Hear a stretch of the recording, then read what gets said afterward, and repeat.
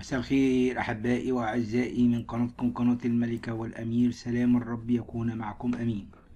وردنا الآن نبأ مؤسف جدا سيحزن الرئيس السيسي بشدة.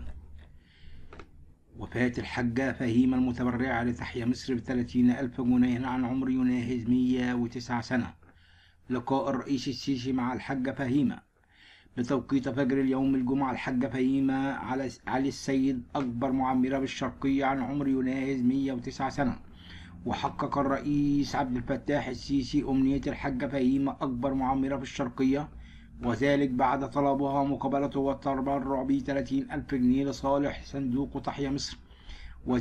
وذلك خلال احتفالية المجلس القومي للمرأة لتكريم المرأة المصرية والأم المثالية بمركز المنارة للمؤامرات بالتجمع الخامس سنة 2019 كان اليوم السابع نشر حوارا مع الحاجة فهيمة بعنوان قصة الحاجة فهيمة أكبر معمرة بالشرقية ب 106 عام وطلبت فيه مقابلة الرئيس عبد الفتاح السيسي.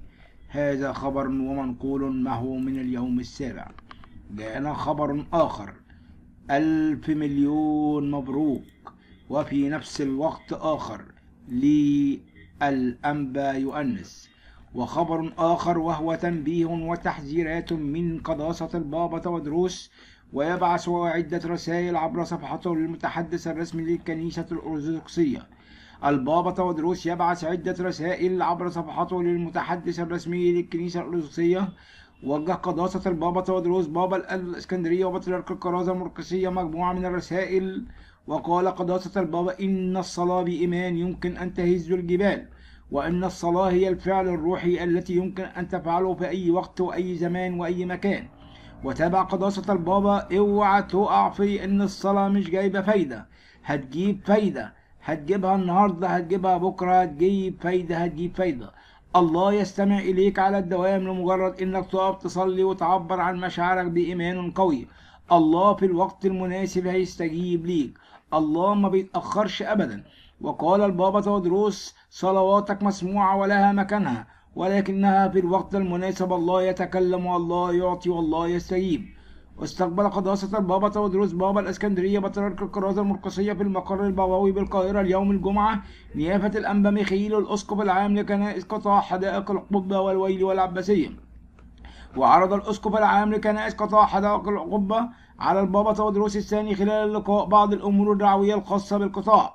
وجدير بالذكر أن البابا تودروس الثاني استقبل أمس في المقر البابوي بالقاهرة مجموعة من القائمين على خدمة متى 25 التابعة لكنيسة السيدة العذراء بأرض الجرب ورحب قداسته بالخدام وتعرف على طبيعة الخدمة ثم استمع إلى شرح عن الخدمة وأقسامها.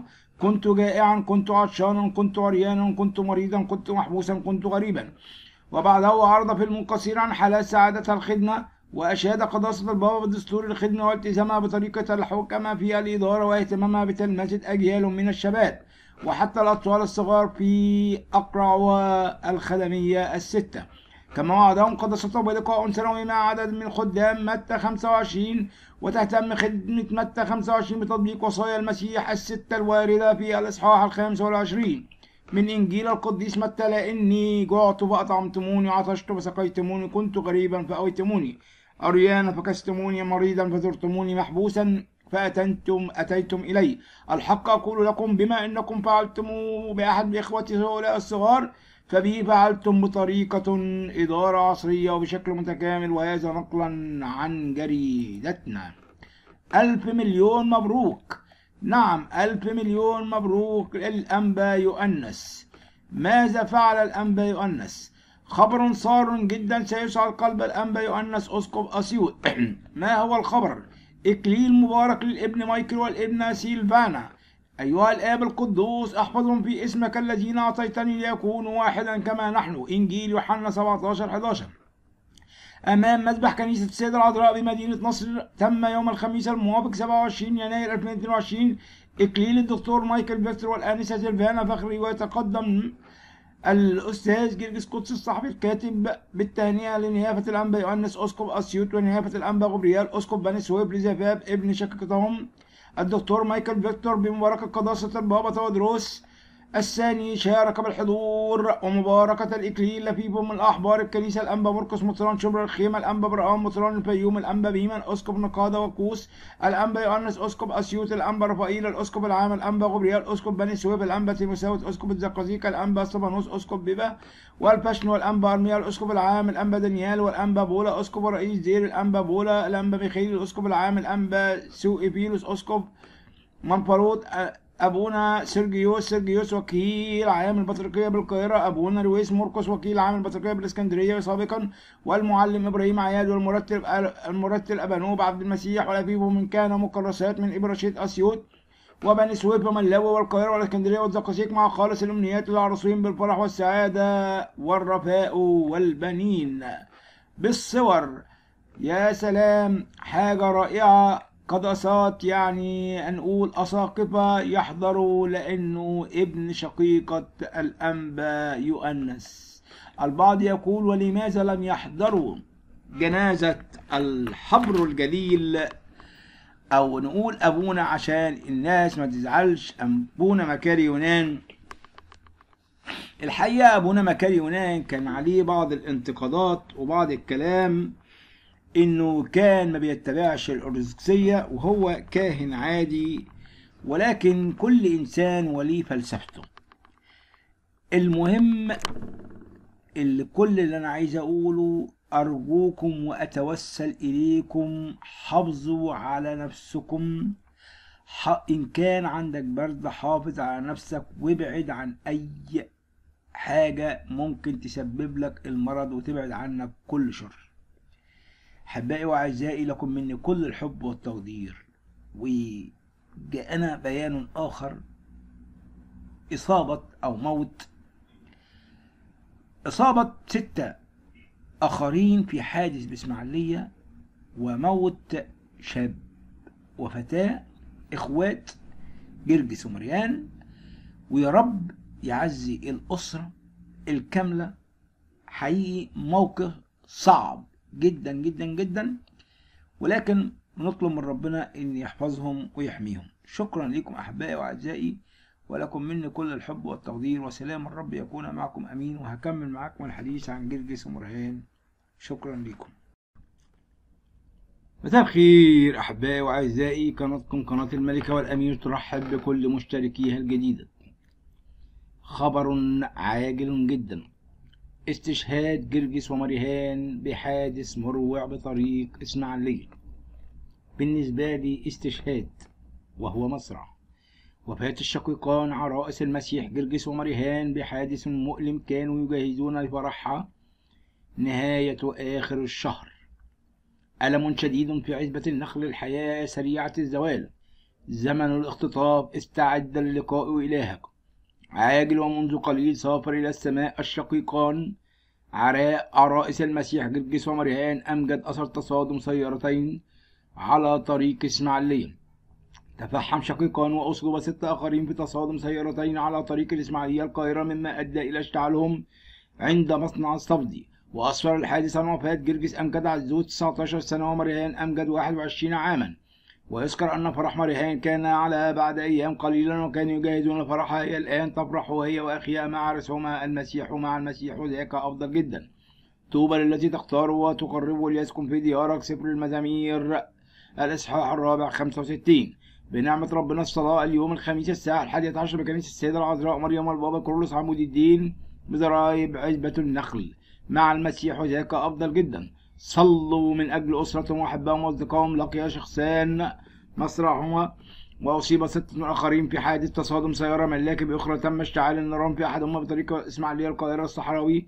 أمام إحدى المصانع الشهيرة بطريق العاشر من رمضان تلقى اللواء منصور لاشين مساعد وزير الداخلية مدير أمن إسماعيلية.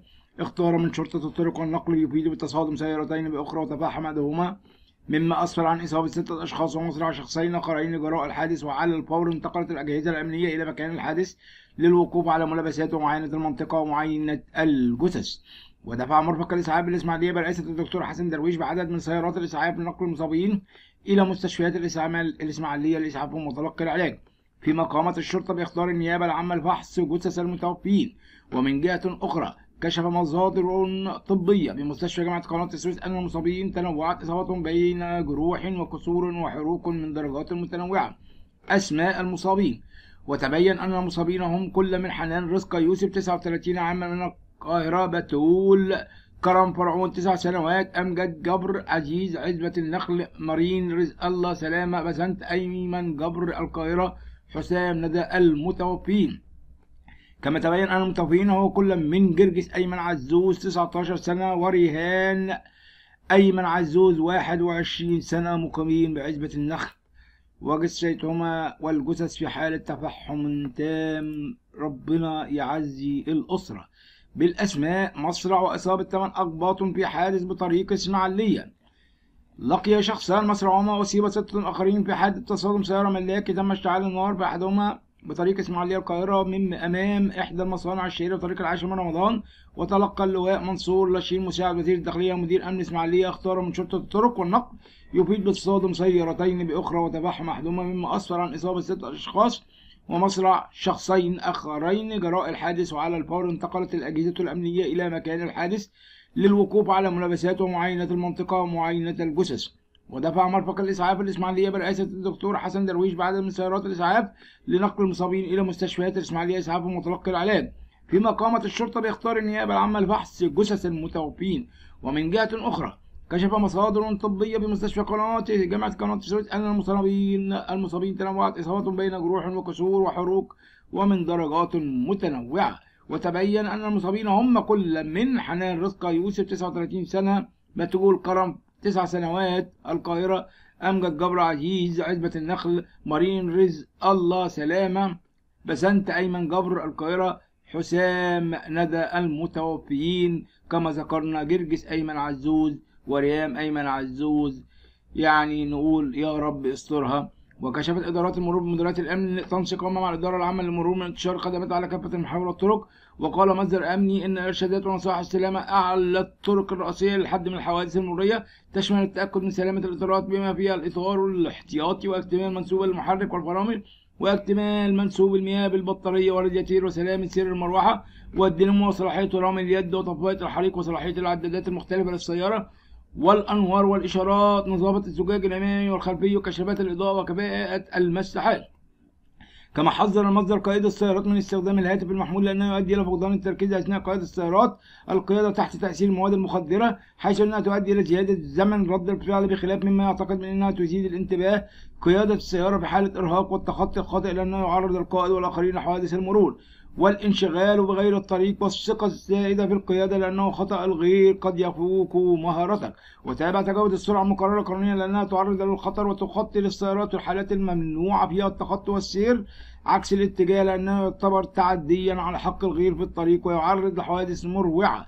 ووزعت الإدارات العامة للمرور عدد من سيارات الإغاثة المرورية على جميع أقسام الطرق وتقوم بمساعدة قائد السيارات التي تعطلت سيارتهم على الطرق أو حوادث السيارات من خلال رقم التليفون 0122 11 3 وحيد 4 أسوار وتمركزت سيارات الإغاثة المعاجلة لمساعدة المواطنين بطرق القاهرة الإسكندرية الصحراء والزراعة والقاهرة السويس والقاهرة والإسماعيلية وبنها شبرا الحر تحسبا لحدوث أعطال سيارات وتخصيص أرقام مواتب للتواصل مع المواطنين. بخلاف شن ضباط المرور حملات لضبط قائد الحافلات متعاطي المخدرات. شكرا لكم أحبائي وأعزائي وهنكمل معاكم يعني خبر آخر وهو خبر لسيدة تصرخ وتستغيث بالسيد الرئيس عبد الفتاح السيسي. اوعى تنسى اشتراكك في قناة الملكة والأمير. اوعى تنسى اشتراكك في قناة الملكة والأمير. مع كل حب وتقديري وهنكمل الموضوع التاني